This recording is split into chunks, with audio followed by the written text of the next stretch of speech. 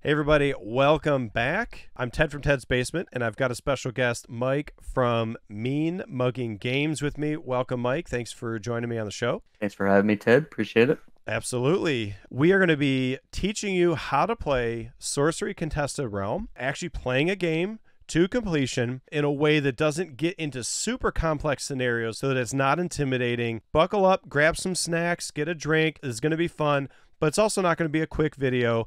We will try to keep any extra commentary to a minimum. This is going to be fully packed with how to, educational, scenario based, actual information that you can learn from. Let's dive right in. I'm going to go, I'm going to pick green. So when you guys jump into TTS, pick a color so that it's just kind of easy to see you and your opponent. My markers, my dice, my name, it's all green, and Mike's is all red. At this point, we get to pick a deck. Mike, did you already grab our decks out for us? I did, yes, sir. Okay, cool. He's given me the water precon deck, and I think what you have the earth precon deck. Yes, sir. Okay. The way we set up the game is your avatar goes here in the middle uh, of the grid. You can kind of see it's got like a little rectangle outline, and Mike's got his as well. The spellbook deck is over here on the right hand side. You can see he's grabbing it there with the red hand and then the atlas deck goes like directly above that. And you could tell the atlas obviously by the different coloring. It's got the orange sorcery. It's also it also says atlas if you're able to look close enough and spellbook says spellbook mike how do we kick off the game is it a dice roll It is a dice roll. It's uh, whatever you choose. You high roll, low roll, odds or evens, whatever, whatever your guys' choice is. you were the highest number So in this case, I'm just going to be the aggressor, I think. So I'm just going to go first. And then what we need to do next is shuffle our decks, both our uh, our our sites, which is your atlases, and your spellbook, which are your spells. So in tts you're going to hover your cursor over the deck of choice and hit r a bunch of times and you guys can see here i'm zoomed in you see the deck is kind of spinning that r is actually shuffling the deck for me And then you are just gonna hover over your deck, and you're gonna draw three of your spellbook cards, and you're gonna draw three of your atlas cards. Okay, let's do that now. You can hover your cursor over the deck and hit the number three. So whatever number you hit is how many it's going to pull. So I've got mine. I think right now, Mike, we are deciding if we want to mulligan or not. That is correct. We could mulligan any one or more of any of the cards. Correct. Okay. I'm just going to mulligan one card and put that on the bottom of my deck. Here's a, a quick tip for you guys new to TTS. If you hold the cursor and grab the deck for long enough, I think it's like an extra second or two, you can pick the whole deck up, drop it on top of the card that you are placing at the bottom. That automatically puts it at the bottom. And then if you just grab a card quickly off the deck, it only pulls one card. So depending on how long you're grabbing the deck depends on if you get one card or if you get multiple. Now for me, I'm not going to do either of those things. I'm just going to hover my cursor over the deck and hit the number 1 and that'll just bring one card in. I think it's also important to make sure people know there are no penalties for mulligan in sorcery. That is correct. I am going to keep what I have, and I think we're only at this version of the game. We're only allowed to mulligan the one time. You get one chance. You can't just sit here and curate your whole hand and constantly mulligan. Is that correct? That is correct. Okay. So I don't even really have a choice. I have to take what I've got. I can't decide that I'm not mulliganing again. I'm stuck with this hand. Right. Okay. Yep. Since I'm going first, I do not draw on my first turn. What I have in my hand is what I have to play with. Both avatars start in the realm, Mhm. but to kick off anything, you have to tap your avatar to play a site. In this case, I'm tapping my avatar and I'm playing a simple village. Okay. And each of these cards have either triggers or Genesis abilities, which is like entering the battlefield, but in this case of the game, will be entering the realm. Simple Village reads uh, Genesis. You may pay one mana to summon a foot soldier token here. So my Simple Village is my mana. So I have one mana, and I'm going to use that one mana to summon what the card says a foot soldier token. There's a key word here that you mentioned that I want to call out for people. The word Genesis, which is to the left of that arrow, that's the key word. To trigger an ability upon the genesis of the card, meaning upon its entry to the battlefield. It doesn't happen any other time. It doesn't happen again. I remember that was something I got confused on originally. That's correct. That's pretty much my turn, and I'm passing to you, Ted. Okay, awesome. I get to draw because it's That is correct. I'm not the first player. Right. And I get to decide if I want to draw from the spell book or the atlas. That is correct. I cannot draw from both. I am going to draw from the spell book this time around. But again, guys, this is up to you. If you want to draw a land to get some more mana and consume more geography on the board, or if you want to, you know, bring another spell into your hand. I'm going to play a site. So I'll tap my avatar.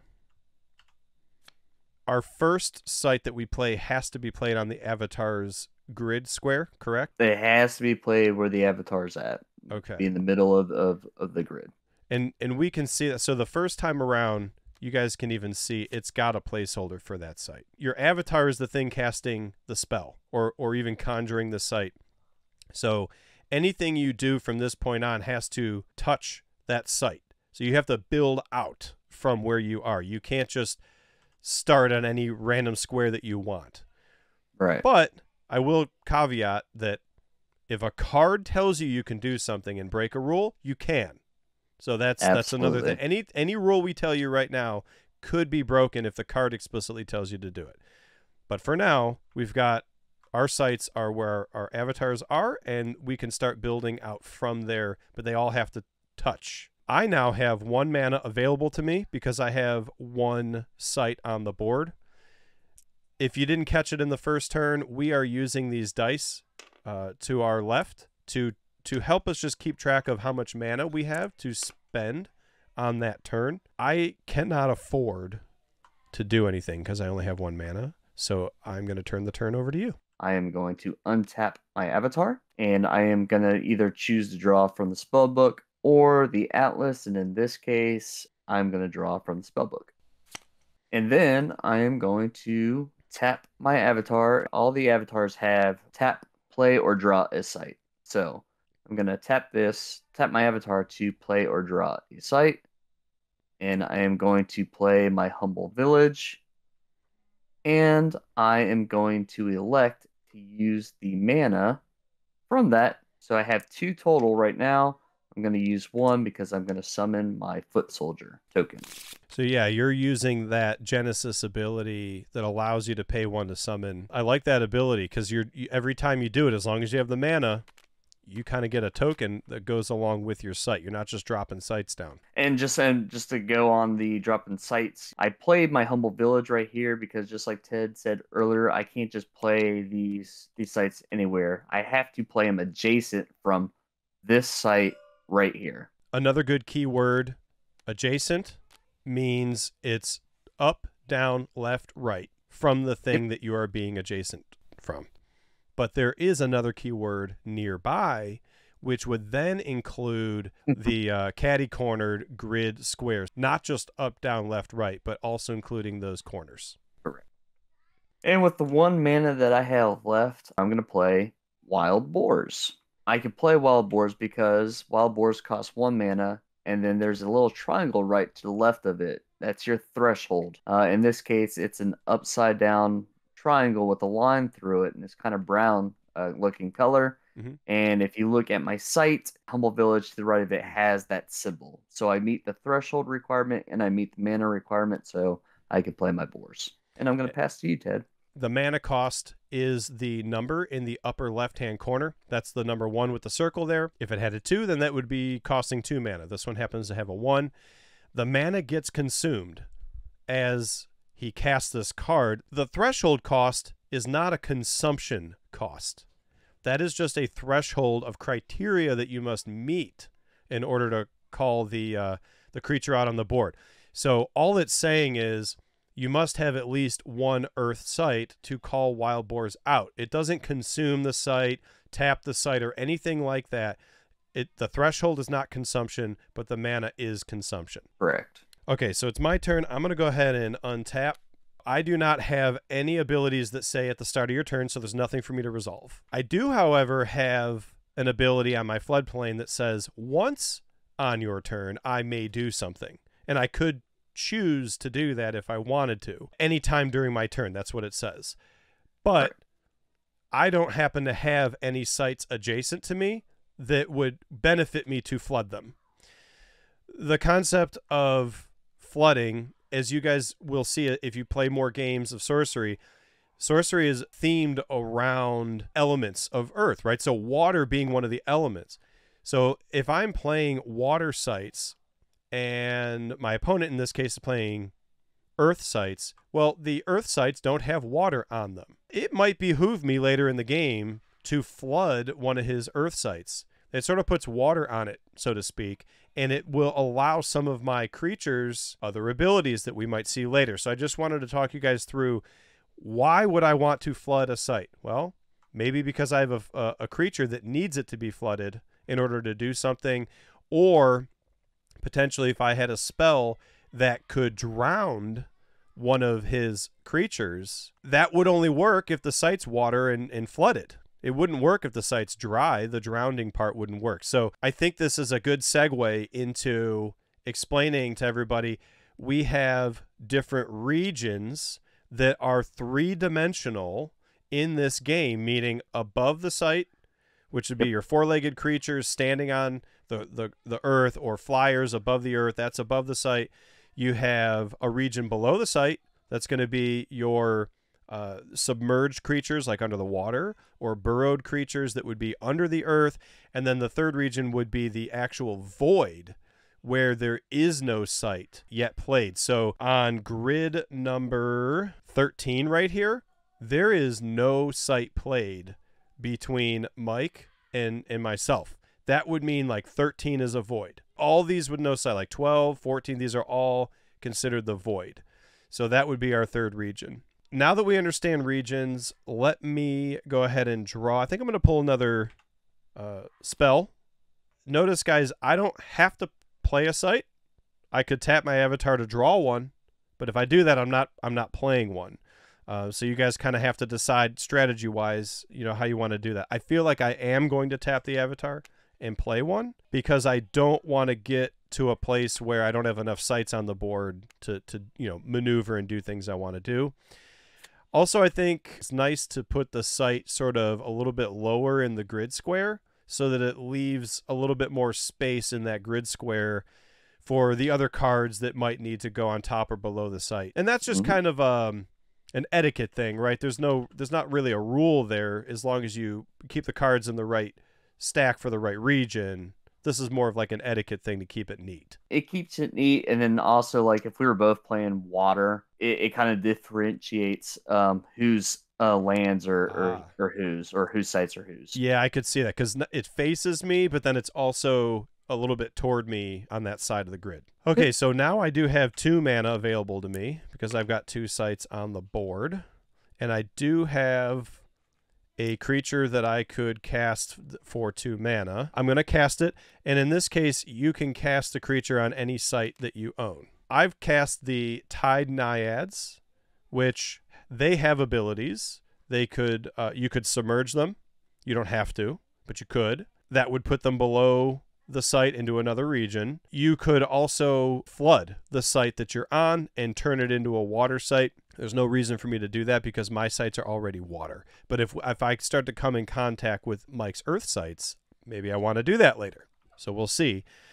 I also think that submerge brings up another good solid like a basic foundation rule we should talk about which is when you are in a different region from let's say an opposing creature that creature can't touch you. They can't attack you because you're in a different region. So if hypothetically Mike's boars were over here on my site, but I were submerged below the site, and see how I went ahead and put my uh, my creature below, he could not attack my creature because I'm actually submerged. His creature is not a submergible type of creature, so they don't have the access to get below deep into that water to even attack me. If I wanted, I could use one of my movements, which will you guys will see more movements once we get more sites on the board to actually come up and not be submerged anymore. And if I do that, we are now both standing in the same region and we actually could attack each other. that way. So I just want to call out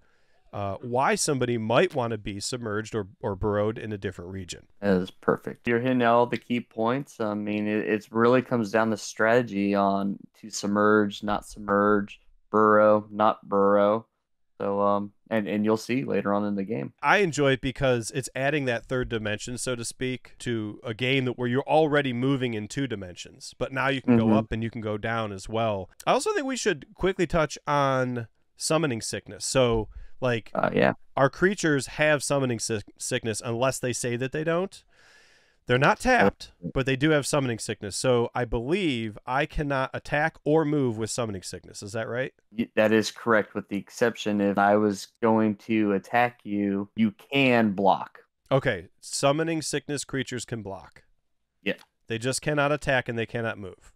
That's correct. For people who Mhm. don't know about summoning sickness, that only lasts for your first turn. So on my next turn, no more summoning sickness. I can go ahead and use this creature however I want to at that point. I am out of mana and I've already tapped my avatar, so I think I'm done. It's uh, your turn. Okay. I've got two mana right now, so hit two on the dice. I'm gonna untap my avatar, and then I'm gonna choose to either draw from the spellbook or the atlas. And in this case, I'm gonna draw from the spellbook, and I am going to tap my avatar to play Holy Ground. It has a Genesis effect of Genesis. Each nearby avatar heals three life, and it's a good segue because we are both at 20 life. Even though that this card says each nearby avatar heals three life, we cannot go the above total life total of 20. 20 is the cap. That's a, that's important. And you know we should hit on the win condition now as Hmm. well. Uh, do you Yes, want to explain that? Yeah, so uh, like I said, we are both at 20 health. The main object or objective is to get your opponent's avatar to zero. But once you hit zero, that is not the end of the game. That is called Death's Door. Then my opponent has deal a final death blow to him, To the Which is- avatar itself. to the avatar Yeah. itself. So any amount of Mhm. damage, once you're on death's door, meaning you've got zero life, any damage when you hit that avatar, now the game's over. Your opponent has lost and you've won the game. On the next turn. So you cannot get your opponent to zero and attack their avatar on the same turn. You have to get them to zero, hmm let the turn end. Correct. Th- at that point, they are on death's door. hmm and on your next turn you are now free and clear to do any amount of damage to that avatar to finally kill them that's the final death blow and then you have won the game That is correct. okay there is healing effects like this card right here. Mhm. However, my opponent was at zero, he's on death's door. He cannot gain any health Mm. once he hits zero.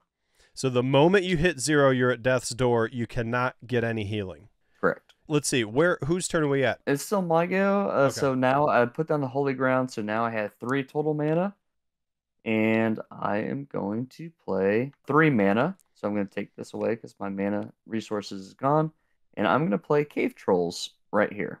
oh they got burrowing They have burrowing. Right now, what so if I put this in play, I have the choice of either keeping them atop of the surface Mhm. or I could burrow them below the surface. How what I'm gonna do is because knowing that my opponent is playing water and he's got this awesome special ability that he could flood my site, he could possibly drown my trolls. If my trolls are underneath the surface and he makes it a water site, well, if you can't breathe underwater, you're gonna perish go Ah, to the graveyard. i want to throw out there the reason we know they can't breathe underwater is they don't have the submerged ability That's right. if this card hypothetically had burrowing and submerged, well, now they can survive under a site with water or a site without water. That's correct. Okay, makes sense. So burrowing So- goes under earth, submerged goes under water. So in this instance, I'm just gonna keep my cave trolls atop of the surface, and I'm gonna pass to you. Okay. Let me untap and bring my mana back. I am going to take a site instead of a spell this time.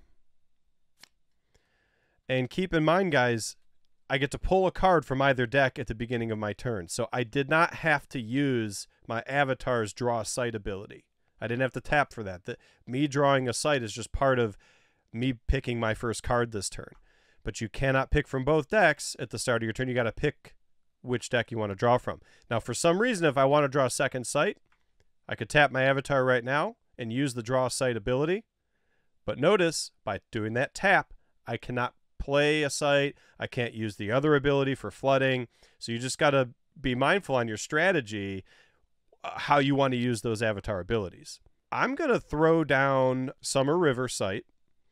Notice, guys, this has a Genesis on it that says, look at your next spell. You may put it on the bottom of your spell book. So, for those of you that are kind of familiar with magic, this is sort of like the scry ability because it's allowing me to take a quick little look here. And I think, is it Alt Shift? Take the card off the top first, then Alt. Shift. In Tabletop Simulator, it's not as easy as in person. You don't want to just like flip the card off and show your opponent what you just looked at. So, uh, as Mike said, take the card off by hand here, and then Alt Shift shows it to me. He cannot see it. Now I can decide if I want to put it back on the top or put it on the bottom. So this water deck is allowing me a little bit of control, similar to like Blue Magic. I think I'm gonna I'm gonna keep it on the top. Okay, I've got my third site out, which means I do have three mana. So I'm gonna update my dice. And by the way, all I'm doing is I'm hovering over the dice and hitting the number, and it just sets the dice to that number. It's very very easy. I think I want to call out Deep Sea Mermaids. And I'm going to throw them up here. So Deep Sea Mermaids has the submergibility, as we saw with my other creature. It also has a Genesis ability, which allows me to draw the bottommost spell. So Genesis, again, it only happens once, and it happens when you put the card onto the board, because that's the genesis of the card, if you will, the genesis of the creature. Um, Mike, I assume this means that I can pull the bottommost spell from my deck. That is correct. Correct. Okay. Um, do you know a fancy way to get that out of? That is the one that I always have difficulty with. So right now, no. The answer is no. So I'm just going to close my eyes. I'll let you flip the bottom card and Okay, go ahead and grab close. it. Th- this Yep. is all for uh, learning purposes anyway, so we can we can do that very easily. So I'm gonna put this in my hand and then flip it. Make sure it's always pointing you, because if it's not pointing to you and it's in your hand, I think maybe the opponent can also see it. Here's the card I just pulled from the bottom of the deck. Look how powerful that was. Just that Genesis ability alone. Again, it's like more that blue magic control, allowing me to start drawing extra cards uh, and I haven't even done anything yet this turn other than play the the creature and put my site out. I did put my site out, right? I did not tap my avatar, so I got to do that. I think I'm going to go ahead and, and do some movement. Before my turn is over, at any point, I can decide I can move one of my creatures adjacent to the site that I'm currently on. I'm going to move the Tide Naiads up one, and you can only move one space, by the way, again, unless the card says otherwise. And again, with the adjacent, you cannot move on the diagonal. And whenever you move, you, you're gonna you're gonna tap and move. Yes. Yeah. So moving and attacking are both things that tap your card. Mm. You could do either or. You could also do them both at the same time in one shot. So if I had an enemy sitting here in this grid square 14, I could have moved and attacked at the same time. So you could do both or either or, how whatever you need to do. But you can only you can only go the one square.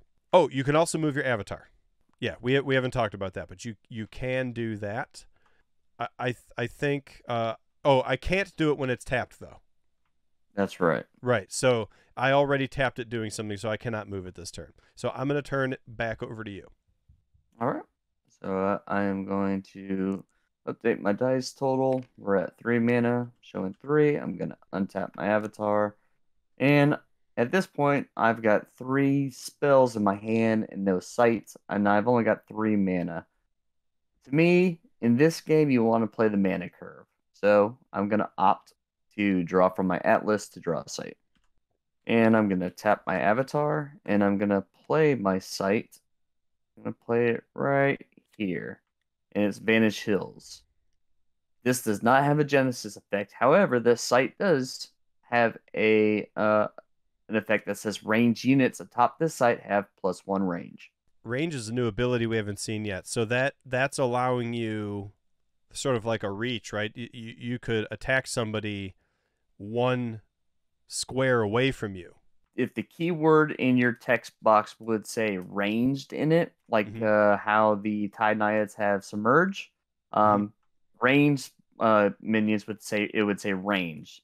We're not granting range to creatures that don't have it. We're just adding plus one to an, any creatures with existing range on it. Yes, sir. Got it. So if it were a creature that maybe had like a bow and arrow or something, and its ability would have been to, you know, shoot you with that arrow, and it let's say it already had a, a, a one range, so it could shoot that arrow one square away. It does not need to move to your square to attack you. This now gives you extra range, and in that scenario, you'd actually be able to shoot that arrow two squares away. That's pretty powerful because now you don't even have to move to that creature. You can just Right. shoot them.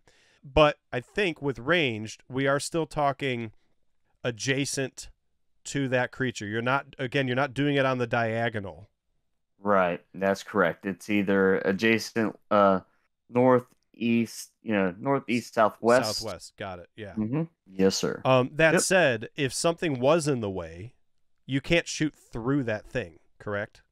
That is correct. You have to shoot bear in front of you. So you need line of sight essentially. If another creature was in between you and your target, you would end up hitting that other creature instead.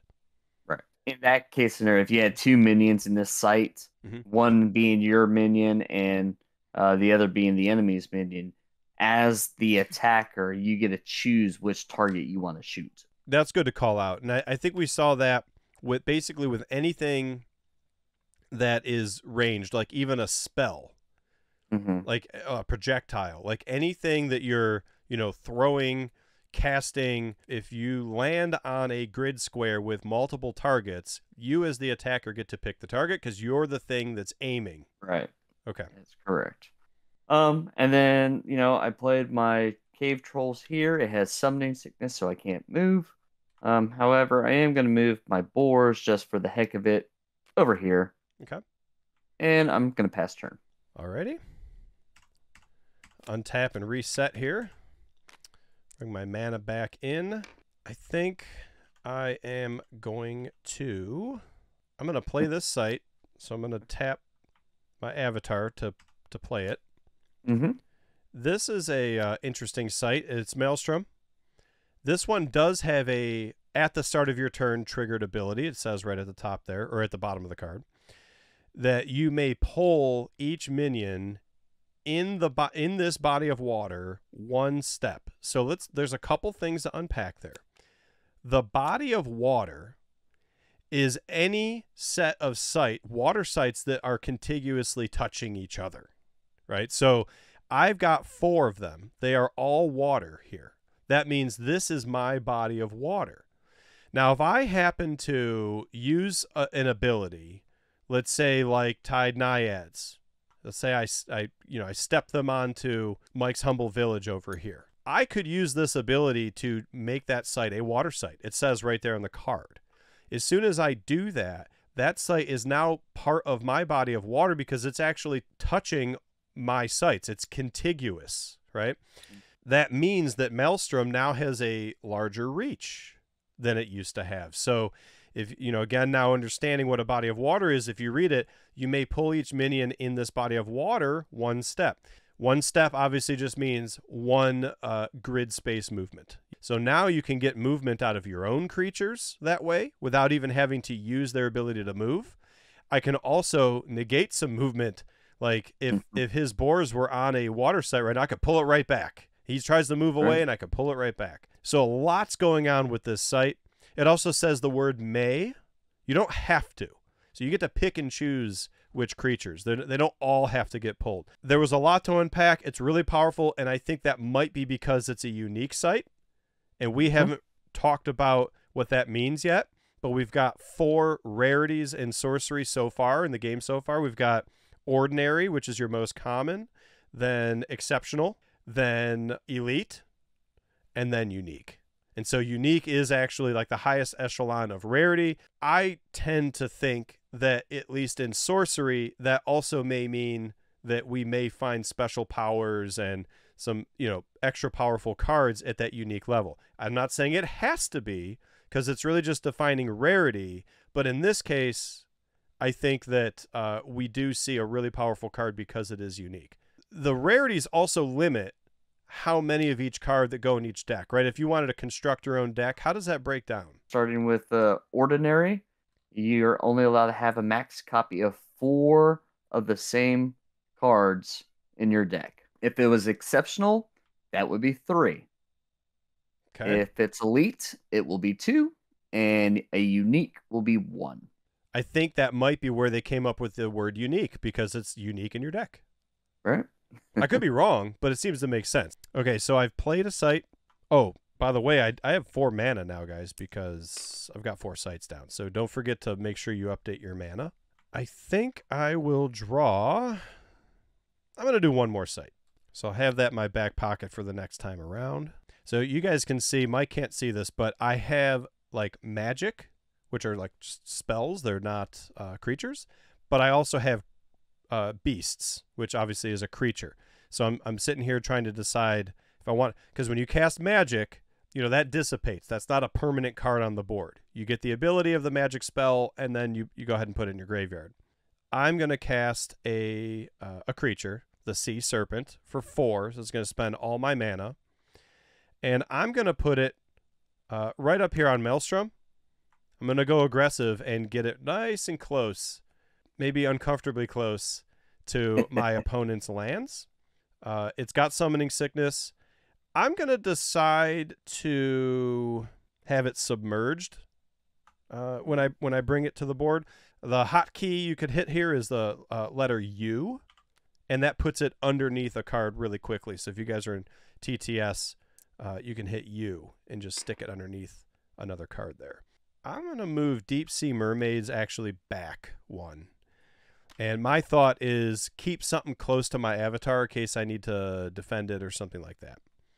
And I'll you go. leave Tide Naiads there.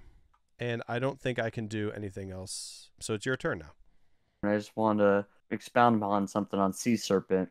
Um, where it says submerge, comma, waterbound. Hmm.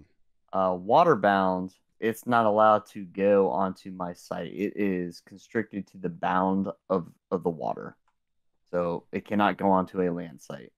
Okay. Yeah. And now if I chose to somehow turn one of these sites into a water site, I then Well- extend the ability for Sea Serpent to move into it. That is correct. Yep. Okay.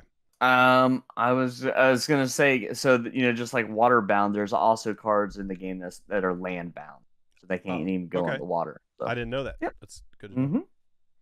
hmm Um, so all I did was untap my avatar, untap my boars. I've got four mana, and I am going to draw from my atlas. And I'm going to tap my avatar to play a humble village right here. You're getting real close to me. And that gives me five mana. And I'm feeling a little spicy, a little saucy. so I'm going to use the five mana and I'm going to play my Amazon Warriors. She is a 5 5. Oh, let's talk about power uh, real quick. I don't think we've hit that yet because we haven't gotten to the point where we're ready to like attack somebody. But in the upper right hand corner, there's a five with a shield and the swords. So that means we have five power. The fact that we see a shield and swords mean that that power is like our attack. It's also our defense. It's it's what's required to kill us as well. I have seen cards that don't have the shield but I I don't remember what the condition was. If it maybe it was just a spell or something. Um, I don't know if you want to elaborate any more on that, or if that's maybe it's enough for now for the basic understanding. Uh, for, for the basics, that that's a good segue Okay. later on to another episode. Okay. So you've got a nice heavy hitter with uh, five power, sitting right next to my avatar. I'm not I'm not real comfortable at the moment. let me let me just move my cave trolls right here. I'm gonna keep my boars here, and yeah, I'm feeling pretty good. I'm gonna pass to you. Oh, let me make sure I untap. Can't get it too too ahead of myself here. Okay. The question is, where do I want to stick this site? I kind of feel like I'm gonna go. I'm gonna I'm gonna connect us in the center of the board, so that way we're gonna start seeing some battles happen. Uh, Mhm. probably a little bit easier because we're like we're all right here now. So we've got that site. So now I've got five mana that I could spend. And let's take a look. This has a Genesis. Staying within the body of water, move a target unit one step. A unit is any uh, permanent creature or avatar card on the board. That's correct. But a unit is not a site, correct? Unit is not a site. I That is can, I can I cannot move the site. The reason that unit is an important distinction is some cards might not say unit. They might say move a minion. Hmm Minions are all your beasts and creatures on the board, but avatars are not minions. That's correct. So, you know, unit is a more powerful thing than minion because th- now I could actually move my avatar. And I think I'm going to go ahead and use that Genesis ability to move my avatar one to the right and get it a little bit farther away from your Amazon warriors. Because it's my Genesis, that does not tap the avatar. Because the avatar did not use its own ability to do movement yet. Correct? Correct. Okay. Mhm. So, oh, but technically, because I did play this site, I mean, I have to tap my avatar to play the site in general. So Right. the, the Yep. avatar's tap, but I think it's important to call out that when another card's ability moves the unit, that doesn't tap the unit. That's correct. So I've got my deep sea mermaids here to help me uh, defend, but I'm I'm getting a little, little weary. Hmm. Um, I'm gonna pull a spell. I'm gonna hope I get a creature. I have a relic. I'm gonna cast this. I don't even know what it does, but I'm just gonna cast it because I don't want to use my magic. so it says, if cast, conjure this under an allied water site of an opponent's choice. When sunken, treasure is carried to the surface. Its controller sacrifices it and draws two cards under an allied water. So that's that could be my own. Yep. Okay. So we are gonna we're gonna play that card. Um, go ahead and, and pick which water site it should go below. Well, I think I'm gonna say it's gonna go below the undertow. Okay. And now I want to read the rest of it again. When the sunken treasure is carried to the surface, its controller sacrifices it and draws two cards. My question for you is how is it carried to the surface? Does it need to be a submerged creature to It have needs access to to? be a. That's correct. It needs to be a submerged creature that's able to pick up the treasure, and then the next turn you would surface and sacrifice it. Okay. So I'm going to go ahead and hit the U key to put it under it's in that under underwater region under this site. Mhm. Um, luckily, because you're playing Earth, I don't think you're going to have any creatures that could access this because you probably don't have creatures with submerge. That's correct. Yeah. The only trick you're is safe. I don't know that I want to go there to get it because then I'm near a whole bunch of your creatures that could attack me. So he's smart by putting it in a place where I probably don't want to go. Mhm. Uh, I did spend three mana, so now I have two left. Oh, I I did forget to use my at the start of your turn Maelstrom ability. Hmm. Uh, so that's something to keep in mind as you're learning these new games. I do this a lot. I forget to check like my at start of turn type of abilities and stuff. What I probably would have done is is pulled. Oh no, I can't. I couldn't. I couldn't anyway because none of his sites are water yet. But I, if they were, I would have pulled some of them. Technically, I could pull one of mine if I want to move it, um, but I don't. So I'm gonna leave it be and turn pass turn back to you. Okay. So I'm gonna check my board really quick and see if I have anything tapped. Uh, my cave trolls are tapped, so I'll untap my cave trolls and I'll untap Avatar of Earth.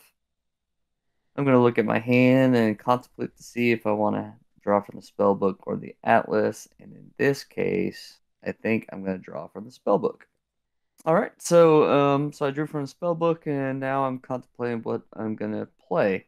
Um, I think this is a good time to uh, teach a new mechanic. Um, Okay. Actually, you kind of already went over one, which was treasure. Uh, but I'm going to use my five mana, and I am going to play Spear of Destiny, and I'm going to attach it to my Amazon Warriors. Let, let's real quick uh, let everybody know we don't know why. There's like this little glitch on Spear of Destiny. I cannot read it, therefore you guys cannot read it. It shows as a white card or like a manila Okay. colored card. I don't But know why it does that. yeah, but Mike, you can see it, correct? I can. Yeah, so um, it's a normal card. I- ignore the fact that it's blank. Just you know, bear with us. It is a normal card. We don't know why there's a glitch here, but we're not going to worry about solving it in the video. He's Mike's just going to read it for us. I just want you guys to know why it looks like that. Gotcha. Uh, Spear of Destiny. It's a five cost. There is no threshold requirement to hit.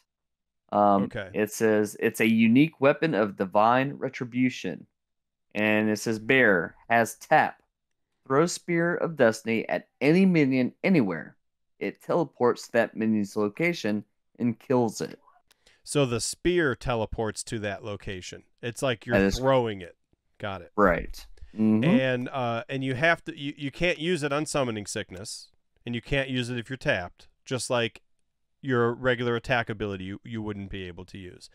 But That your Amazon correct. warriors don't have summoning sickness because they've been out since your last turn. Right. So you could throw Mhm. that right now. Just because your Mhm. Amazon warriors holding the spear doesn't mean they can't do their regular attack though. So Right. if I had a minion uh, on uh, an adjacent square or inside square number 17 right here, he could choose to hit me and not throw the spear. That would mean he's still holding the spear for the next time around. But if he choose, let's say I was in, let's say I had uh, a creature here in 18 and he threw it at me, that spear is going to drop on 18. He will no longer have that spear in hand. So the next creature that comes in 18 could decide to pick it up. And what I'm going to do, just like he was saying, I'm not going to use Spear Destiny. Spear Destiny is just attached to the Warriors. The Warriors are going to come into his space and hit his site for five.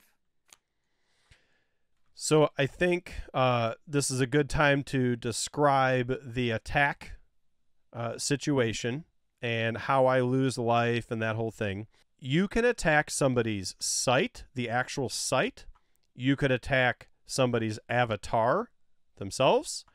You could attack the creatures or the minions. Mm-hmm. If you attack a site or an avatar, that would do the damage to to you. Okay, and you are the avatar, by the way. When we're playing, we are the avatar. Um, so a site and an avatar would reduce your life total up here. Mm-hmm. Could I have defended that site if I wanted with an adjacent creature? You could defend with your your minion if Okay. you wanted to. And when the attack happens, um, damage is dealt simultaneously. Oh yeah. So if I decided to do the block, which I didn't, but if I decided to come over here and block, which by the way, guys, you can block uh, one grid adjacent from you, and Mhm. because I'm right next door, that's one that's one square adjacent, so I can Right. move over and do the block. If I were already here, I could also do the block. That's correct. Obviously, if you're in the same grid, you could block within that grid. So if I decided to come over here and block with my deep sea mermaids, we we attack we hit each other for the damage at the same time. So I only have a one power. He has a five power. Sorry if I can get my mouse on it. So I, I would instantly die. I don't have enough power to, to kill his warriors, and that would be it. My minion would go to the graveyard. Mm-hmm. Um, I'm not going to defend. I, I took the five damage. My thought process was leave the creature here to kind of protect the uh, avatar, um, which technically doesn't matter yet, but it matters when I'm on death's door. Okay. So then I am going to use my controls and hit you on this site for three. I'm going to risk, I'm going to take it. Oh, there we go. I'm not going to defend. All right. I was hoping he was going to block because I was, after that, I was then going to go and attack with my foot soldiers here or here. Um, But uh, with that being said, I've got different plans. Um, so I am going to tap my foot soldier, and I'm just going to move him over here. Okay. And I will pass turn to you. Okay. So we've got some interesting things going on now that he is in my body of water. Mm-hmm. Because at the start of my turn, I can pull each minion one step. So I would like to pull Amazon Warriors uh, one step this way, away from my avatar. Okay. And I think I'd like to pull my Sea Serpent uh, one step this way. Hmm. The way that we understand this, by the way, is it doesn't tell us the direction. So until we are told otherwise, we are allowing the pull one step uh, to be to pull you know anywhere in the body of water. This is one of those caveats where we might be told you have to pull it toward ma- towards Maelstrom, but I don't know that at this point. It, it doesn't actually say it uh, pull towards Maelstrom, so that's kind of how we're rolling with it. Okay, so my Mhm. movement now was to submerge the the uh, naiads, which also taps them because that's considered the movement. Mm-hmm. And uh, Sea Serpent was pulled here. So Sea Serpent did not tap yet. So this Mhm. will be an example of I was able to use an ability of another card to get Sea Serpent to actually move twice. Right. So I can move it over here. That taps it, and and they could submerge later. I'm still not good at this yet. Like make sure you get through your upkeep sort of thing. Like you're resetting everything. Uh, putting my mana back would have been part of that. Pulling a card would be part of that. The uh, Avatar of Water. Did I, I didn't untap it yet either? Did I? Nope. It's not untapped. So that would be part of that. I've got my five mana. Amazon Warriors is has been you know pulled into this this water site. I could use drowned to submerge a target minion, uh, if able, and that costs three mana. So I'm gonna cast drowned onto Amazon Warriors, and I'm gonna pull them down below. I'm gonna submerge them, but because they don't have submerge, they they they're done. Mm-hmm. That's correct. And since the Spear of Destiny was attached to the Amazon Warriors, the Spear of Destiny is now It's just submerged. oh, it is actually submerged. hmm But Okay, because so you, having submerged, are able to retrieve the artifact. Oh, because I I have the ability to submerge, but you don't. So Mhm. even if you brought creatures over to this uh, grid square, this site, they don't have the ability to reach down into that into that region and get it. That's right. Okay. That's As correct. of this moment, cave trolls cannot kill sea serpent. So the next turn, sea serpent could actually submerge, pick up the spear, and the sunken treasure. So there's a lot Mhm. going on under the water over here in uh, in grid number thirteen. Yep. I've got two mana left. I've got another magic I could cast for two. It's a Riptide. Target water site will pull an above ground unit it's adjacent to, and then I can also draw a card. Oh, since my uh, Tide Naiads are submerged, I can't use that to pull them into here because they're not above ground.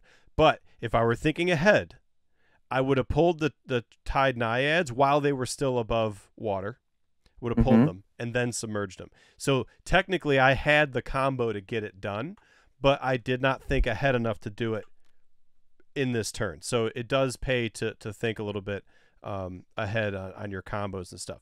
So instead, I think. Oh, let me make sure we get drowned into the graveyard. That that spell has been spent. Instead, I think I will. You know, I think I will. I'll- I'm just not going to use Riptide.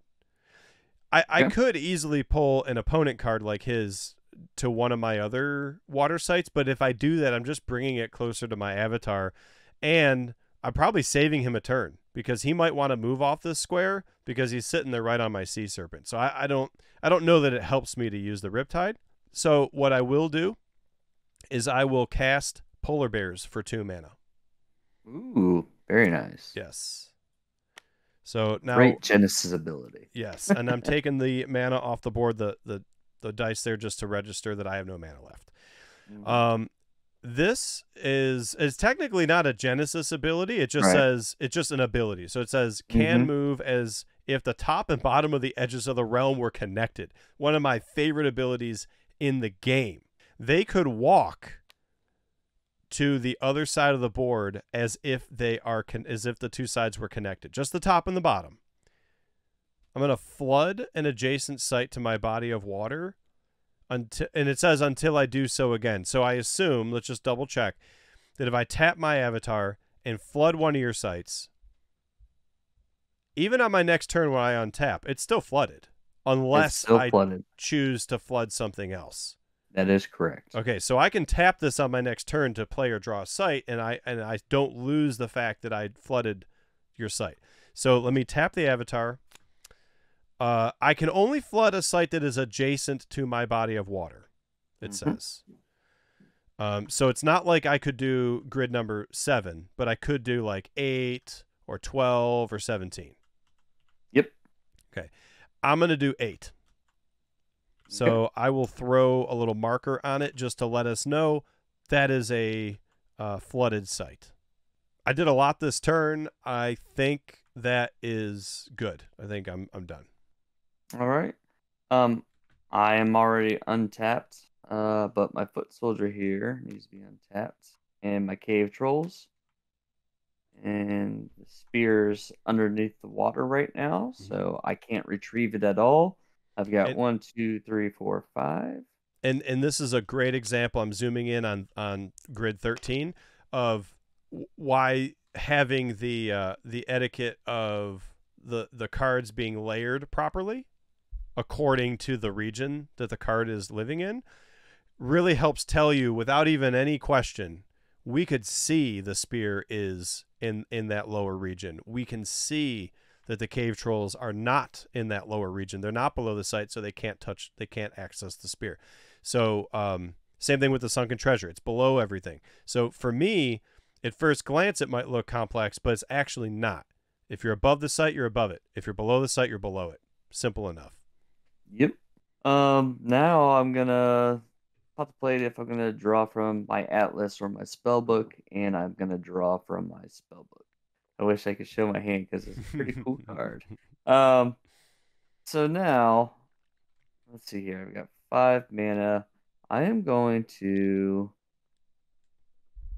maybe just try to clear clear some stuff out because I know that my to me I think my cave trolls are in danger regardless. I mean I could retreat back here, but uh you know, like I said, I'm feeling saucy today. So uh I'm gonna hit your polar bears. I'm gonna attack your polar bears with my trolls. So I think what I want to do is because you've got three power, polar bears have two. I want to block that attack with the deep sea mermaids. hmm You can also you can double block in this game. Just uh Oh, Yeah. um, so I would I would lose both my minions if I chose the double block, but I would take your cave trolls down with them. That is correct because your bears are two, your mermaids are one. Two plus one equals three. And remember, simult- they, they they strike each other simultaneously. Makes sense. I'm gonna I'm gonna not do that. I'll sacrifice deep sea mermaids. I'll take the hit, Mhm. and and they will perish and go into the graveyard. Okay. So right now, because he did do that, Mhm. you know, he you struck my trolls for one, you know, and then I dealt more damage than you. That's why you're dead. Mhm. Now, my trolls were a three-three. Mhm. They are now a two-two. Just at this point of time, So just just At for the- the remainder of the turn. right? Okay.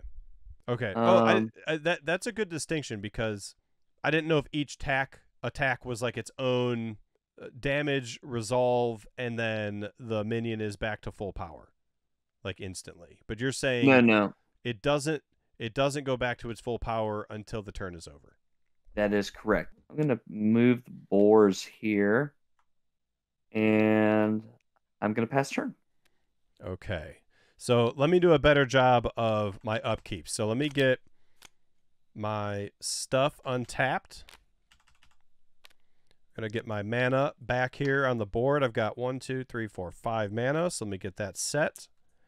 Let me not forget that I've got Maelstrom with a, at the start of your turn ability. I would like to use that Maelstrom ability to pull your cave trolls one step in this direction. I am also going to use that ability to pull the Tide Naiads one step in this direction.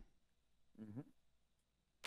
That's all I will do as far as the Maelstrom ability. Okay.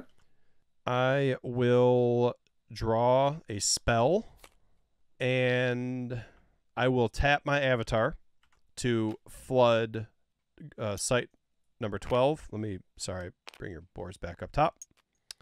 Yep. Um, I moved it because, like we talked about before, you, you when you flood another site, according to this avatar's ability, the previous site you flooded is no longer flooded. So you can only kind of flood one site at a time with this avatar. I'm going to move and attack with Tide Naiads against your wild boars because I think they would just kill each other. Mm-hmm. So we're going to do that. That attack resolves and they both go to the graveyard. I am going to attack your cave trolls with the sea serpent. Yep. They'll go to graveyard. I'm then going to spend four mana to cast another sea serpent submerged Uh-oh. Yep. on 13 which means they then pick up the spear Mhm.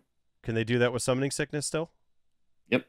okay so that spear is now being held by my sea serpent and then i will pick up the sunken treasure that it's just picked up so i can hold the spear and the sunken treasure Oh yeah. there's no limit to how many things i could be holding really. Nope. You okay could, if you had a hundred artifacts, you could have a hundred artifacts attached to you. Very cool. Okay. So let me just um, make sure I drop these below the site again. Okay, so now I've got access to those artifacts that I wanted. I've taken out a couple creatures.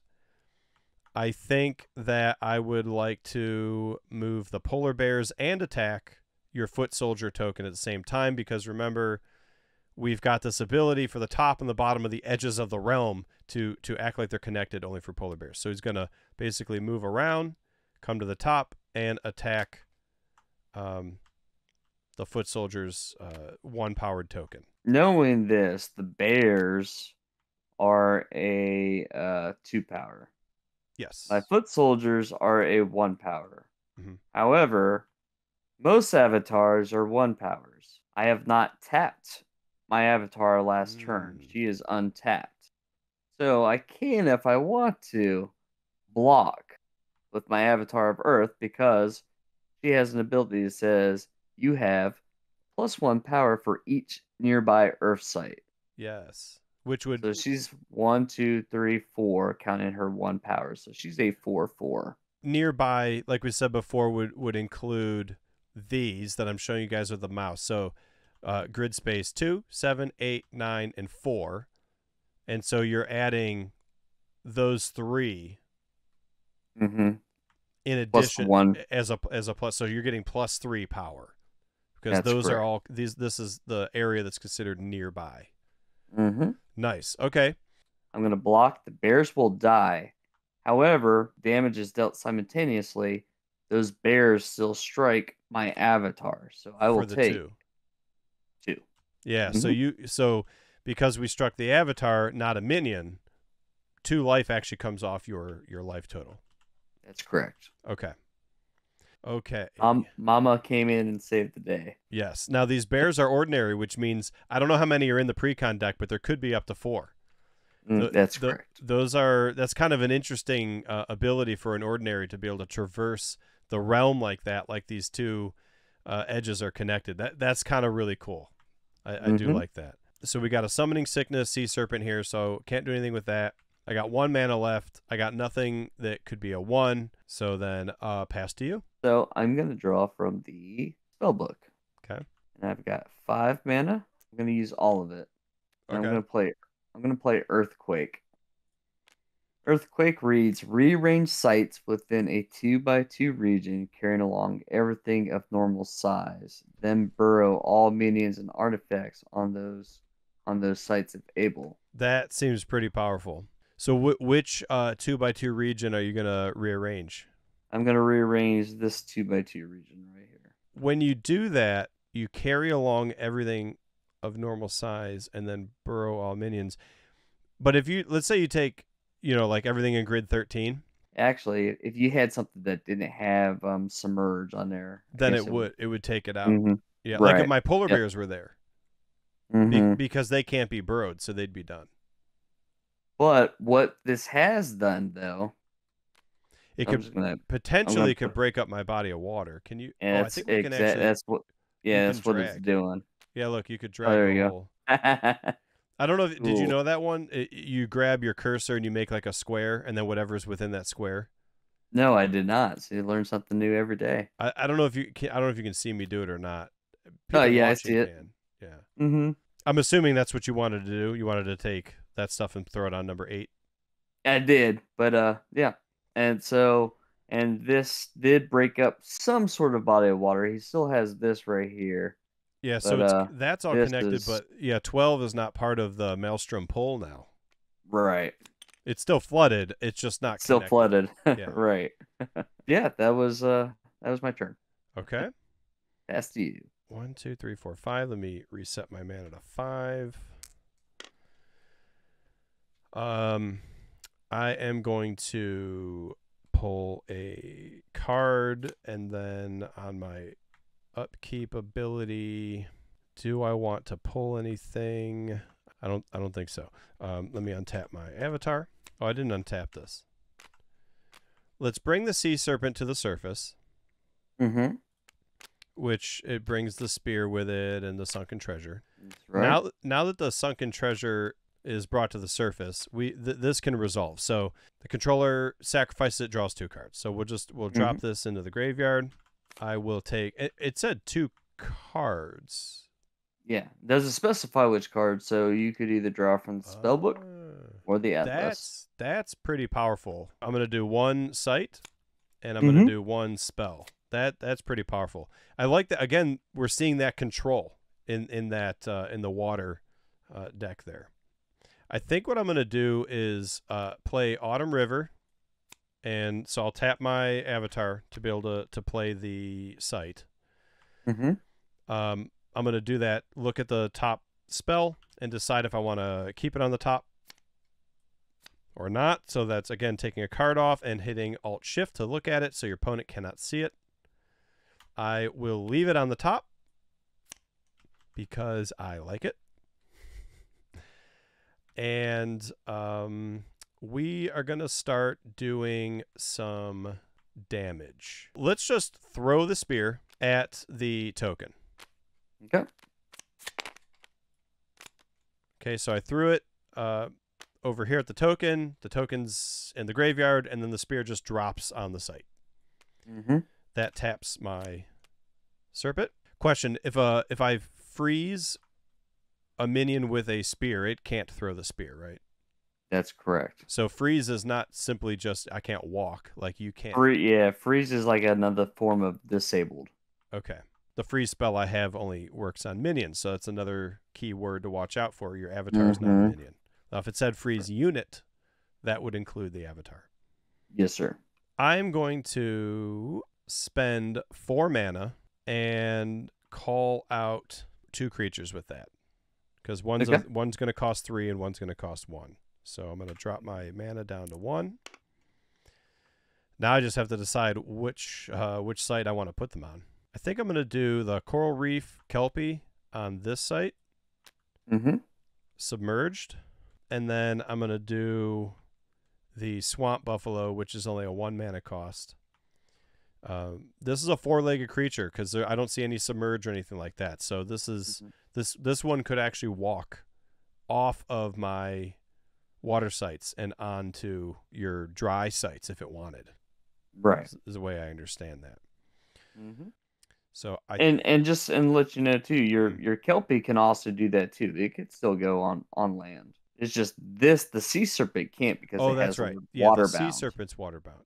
Yeah, it throws me off because I wouldn't think of that kelpie as a land creature, but if you look close, Right. it actually has hoofs. Mm-hmm. It actually does. So they've Oh, it does. Yeah. they've matched the artwork to the ability. Like that's really cool that you can actually Mhm. see it too. That it that it Yep. can go on land. It's not water bound. Nice. That that's a very useful. It can go on both, and it can submerge. Mm-hmm. Oh, so I was deciding while we were looking at that, I was deciding which site to put the buffalo on. I'm gonna I'm gonna go over. here. I'm gonna put it on this site. I'm gonna load it up. All right. I know you could hit it with the spear if you wanted, but um, I'm loading it up. Gotcha.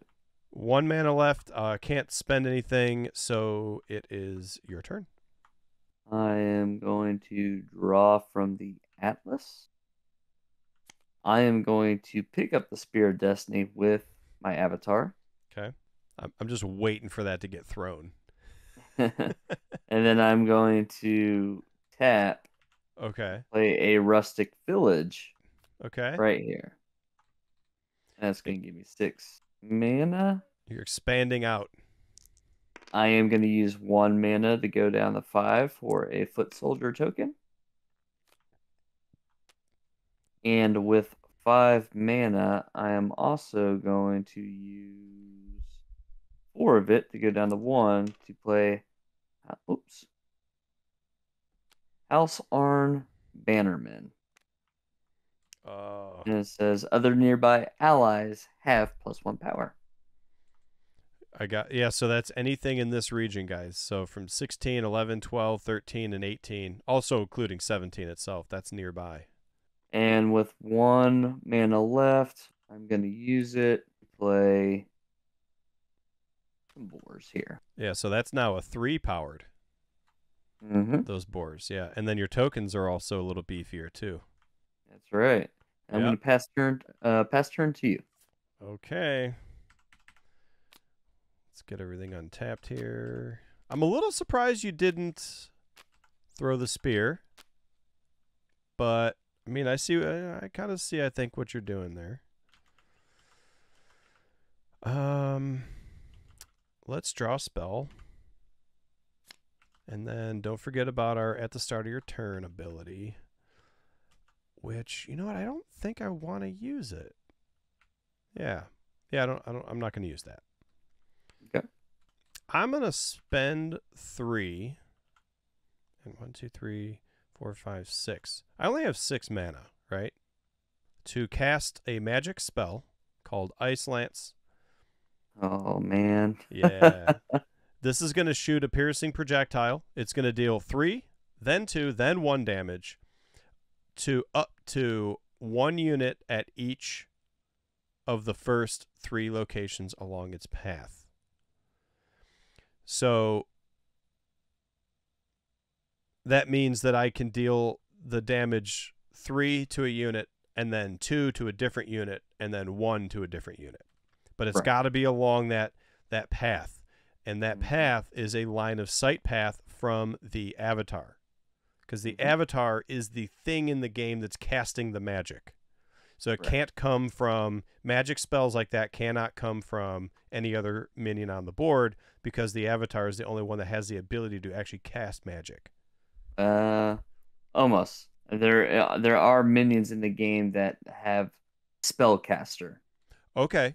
That's the card telling you that you've got that extra ability then. Right. Yes, Okay. sir. Mm-hmm. Um, so let's drop the uh, Ice Lance spell out so we could see that I'm playing it. I'm going to hit the boars with three. That'll take the boars out.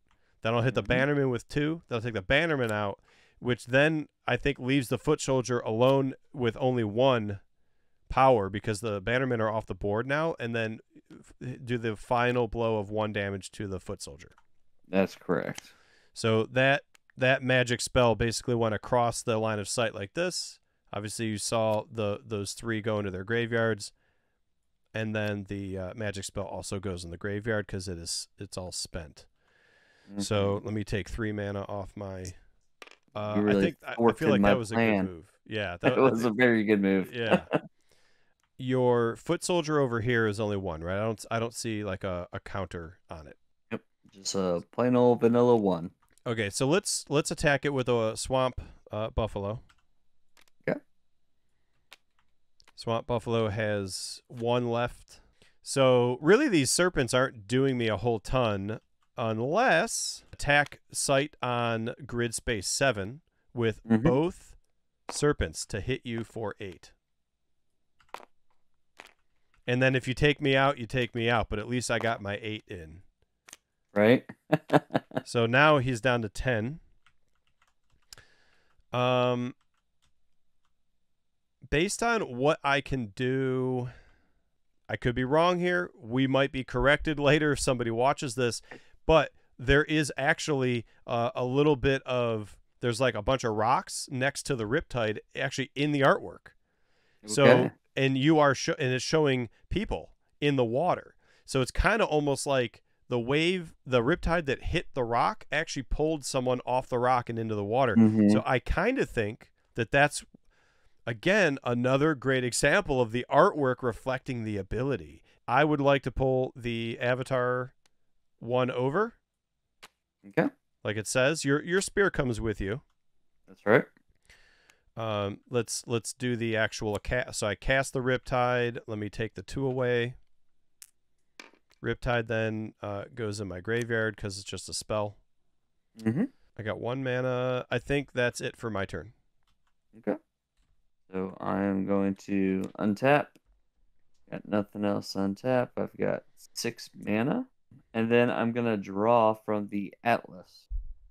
I'm going to tap my avatar to play Holy Ground. I'm going to play Holy Ground. Ooh, it's not near anything, huh? Hmm.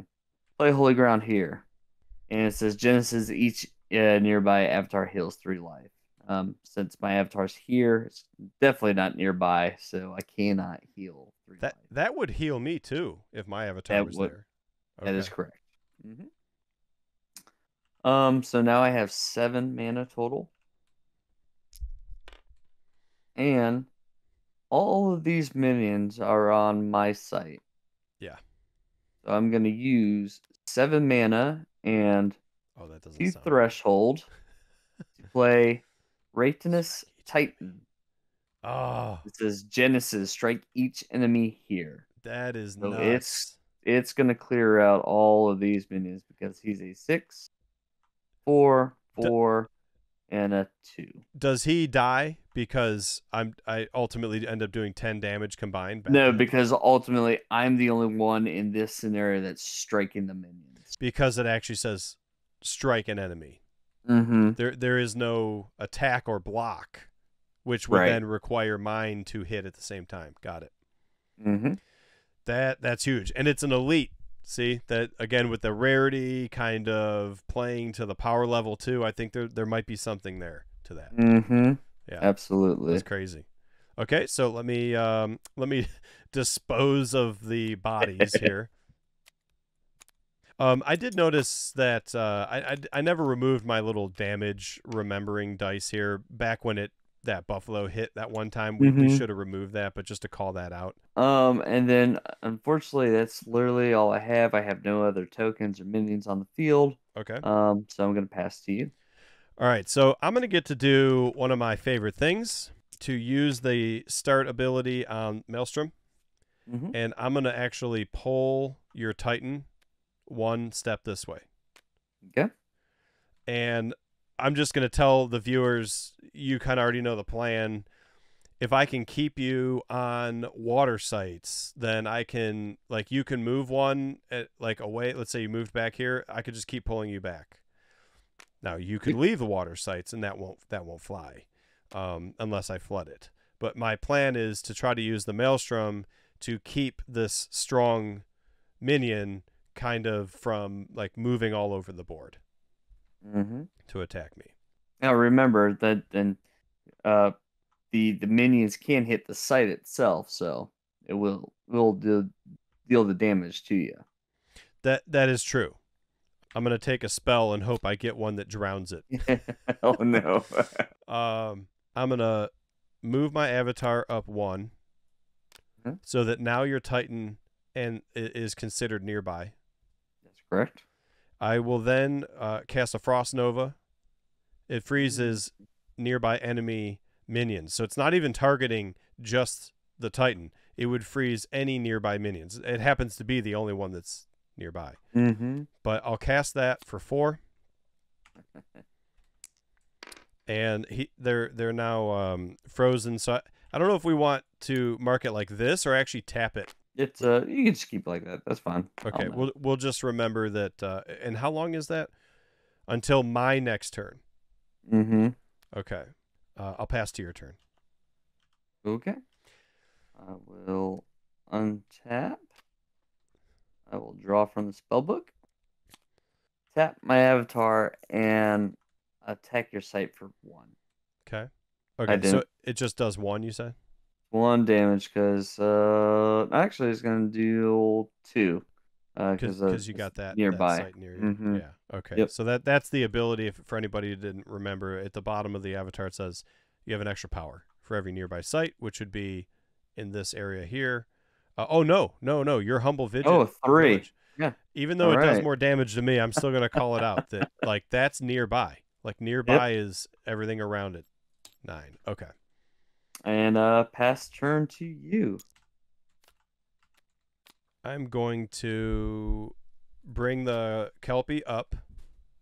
That'll Mhm. count as the movement. I'm going to take this this little token here off of or the counter or whatever you want to call it off your titan because they'll they'll be unfrozen. I'm going to reset to my six mana and draw a spell. I'm going to cast mega mega amoeba. How do you say this? Oh yeah, Mega Amoeba. Yep. Mm-hmm.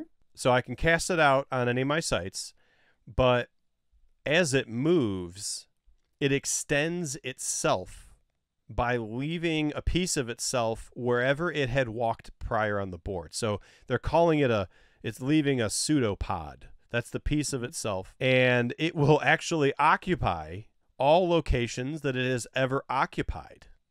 So as it leaves the piece of itself, it's technically growing. So it's actually becoming the size of all those pseudopods plus itself, the card, all combined. It's like one big creature. And Mm-hmm. then, of course, as that's happening, I'm getting one, plus one power for every uh, pseudopod that it left behind. I think what I want to do is cast it over here a little bit far away so that because I want to move it to make it grow bigger. It said it Yeah. moves by extending a single pseudopod. I can't move Mhm. with summoning sickness. So I would think it's just a zero right now. right. Oh, that's a good point. Yeah. Okay. I don't think I want to use the avatar to flood anything. So I will tap it to draw a site. Sorry, not not spin all my sites, but draw one. Now I can't play it because I just used my tap ability here on the avatar to to draw it. I think it is now your turn. At one point we talked about how the pre-con decks are so well balanced that the games can actually take a lot longer Oh four yeah. or five times longer than if we build our own decks that are really designed to be like maybe tighter combos. So just throwing it out there for anybody who's watching this long into it, if you are looking for that long drawn out, like grab a couple of drinks and some snacks and hang out for, and you want this like long strategy game Oh yeah. if if you're not looking for that long strategy game, maybe either augment one of the uh, pre-con decks with like some faster combos or some maybe some more powerful cards, take out some weaker ones, or build your own deck from scratch. And I've been told I've only played with pre-cons, but I've been told by uh, judges that when you play with those um, faster decks, like they really they can really get faster. Like what what's one of the faster games you've played? Like, Ten minutes. so there, there you go. So I untapped. I'm gonna draw from the Atlas. I am going to tap my Avatar of Earth and play a Humble Village. I am not going to utilize the Genesis effect, so I will go to eight. And with eight mana, I am going to play a Midland Army. Oh, that looks powerful. So it says tap target a loca- uh, target a location up to three steps away, deal four damage to each unit there. Deathrite summon a foot soldier token to each adjacent location. So uh, I understand what tap means to trigger that Mhm. first ability. What does Deathrite mean? Deathrite is just like the the Genesis ability, but now it's But on the leaving the, cemetery, right? So Ah. then I would summon uh, a foot soldier token, Okay, token, token, token. That makes sense. So that was eight. Uh, so now I'm going to hit you with the Titan for six. One, two, three, four, five, six. So I'm down to three. I'm gonna pass close. turn. I'm getting close to death's door. Okay, so I am going to play a site. Uh, I'm gonna. I guess I'll drop it here. I'm gonna use the Genesis, staying within the body of water, move a target one step. I think I have discovered that the move I used my Maelstrom for was not a good one because I put your Titan right on my site and you and you haven't even moved it to a, Mhm. to attack my avatar or anything, and you you've just been sitting here attacking it. So I feel like I'm going to use this Genesis because this flooded site is still within the body of water here on grid number seven, and move you Right. back. Very good. Um, so I'm undoing a move that I did previously, but I do have seven mana now. Let's pull up a spell. With Ice Lance, can I deal the three different damages to one target? no, it it- still yeah, unfortunately. hmm Oh, okay. Because what's interesting is like if the unit doesn't die, it's it's it's within the first three locations still, oh, yeah. right? Like it's it's not Mhm. out of the way yet. So I would I would think you could just keep hitting it until it's gone, right? I don't know. Right. Is that one of those we're not 100% sure? Uh, yeah, I'm from. Yeah, I'm gonna go with that. Uh, Okay. Option number two. Not 100 percent sure. Okay. If anyone watches this that knows, they could tell us, and then we'll learn from that. Uh, we'll go with that. I won't use it for that because your your creatures are uh, so powerful it wouldn't matter to hit them. But your avatar sitting there, which I could hit. But if I can't hit the avatar for all three of those, I, I would just hit it for the first three, and then the other two wouldn't wouldn't do anything. I, I think that's how it does go. I'm not 100 percent sure. We'll go with that because I don't have a whole lot to do right now anyway. So I'll just hit your avatar for three. Mm-hmm. Okay, so I'll spend three here. Uh, and it'll just shoot line of sight over to your avatar. And uh, oh, was I even able to do that because it's tapped, or that's okay because the the magic ability is Yeah, the, yeah. Itself. it's not. It's not it's not you to it's not a move so- or an attack. It's a it's a magic spell. Okay. I am also then going to move the kelpie over one and attack for three. So now you're down to four. I got th- so we're we're both getting a little close to death's door here. I cannot do anything else, so I will pass to you. I will draw from the spell book. I've got eight Oh mana. crap! Oh, your pseudopod. I didn't Yeah. move my pseudopod. I just oh, realized. Oh, realized go that. ahead, move it. just to show people it.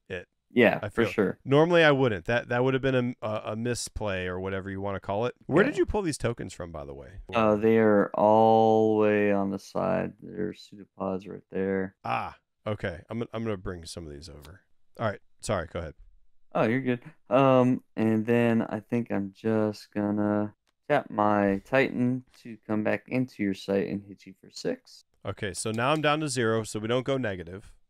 Mm-hmm. I'm officially on death's door, but you cannot do your final blow to my avatar this turn. Right. I can't. I can't wheel my catap or my yeah my catapults in there to hit you. Or the spear. Um, or this or spear. Nothing. okay. So you know, let's just have some fun. So we'll use the ability, which is tap, target a location up to three steps away, deal four damage to each unit there. So one, two. Ah, I'm going to target your kelpie and take Kelpie's it out. dead. And why not? With uh, we got eight mana. We'll use five. We'll go down to three. We'll play a Queen of the Midland here. And she says after an opponent draws a card, if they have more cards than you, you may draw a card. Ah, okay. I'm gonna pass turn to you. Okay, this is going to get tricky. I don't know if I can survive this round, but I have a couple thoughts. So, for my upkeep with the Maelstrom, I'm going to pull your avatar one to the left Mm-hmm. because I want to get you away from the line of sight so that you can't throw your Mm. spear at me. I'm also going to do the, I'm going to pull the avatar uh, down one so that it's also not directly next to your Midland army. Mm-hmm. So hopefully that that buys me like one more round of survival.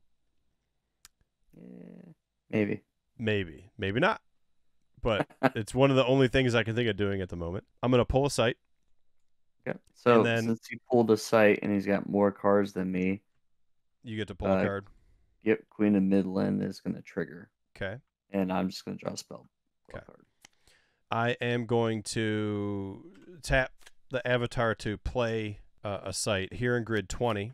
This Genesis has a threshold to it. It's the first one we saw with a threshold that I played at least that requires at least three other water sites. That's the upside down triangle that's blue. I obviously Mhm. do have that many. I meet the threshold. I can summon three frog tokens there. Something that has the ability of submerge doesn't mean it has to come in submerge. It's your choice. But because they're being Right. summoned this way, that makes sense. I want to play the Kraken. Ooh. It has submerge. It also has this ability to tap, and then it will surface to strike each other unit nearby. So I believe in order for that to work, it, it cannot already be surfaced. I'd have to bring it in submerged and then surface it, and then Right. that does the strike. It says nearby unit. So it could hit an avatar. It could hit a minion. Does that also mean mine? Mm-hmm. So when it says each other, so I sh- I probably shouldn't put it right next to my own thing, is what you're saying. Right. Mhm. Okay. No, that that's a good call. That's good for especially for people learning. It doesn't say each other enemy unit nearby. That's each other unit. So if I put it here, I'm safe. Yep. Keep that submerged. I've I've got no mana. The only thing I want you and the viewers to be mindful is uh, if you hover over Midland Army, it's uh, tap, and then it says target a location up to three steps away. Yeah. So a- one, two, three. So that that's actually a Mhm. pretty good range. I know it doesn't use the range keyword there. Right. Um, but it, it's specifically saying three steps away. Does that mean I could still do a, def- a block because it says deal damage? I think you're right. Yeah. Yeah, so I think I'm going to go this way with it. So I think that taps it too, though, because that's like kind of considered uh, moving. I don't think I can do anything else. So it's your turn. So I'm gonna untap, untap. I am gonna draw from the spellbook. Yeah, I'm just gonna use my avatar to chuck the Spear of Destiny at the Moeba. Okay. Then of Destiny kill all drops of the- there. Yeah, all the take all pseudopods. guys. Okay. I see what you're doing now. I'm going to my Midland army to target this site, targeting these. Uh, Yeah. grab- And because I don't like these frogs can't do the block, right. that's my final death blow.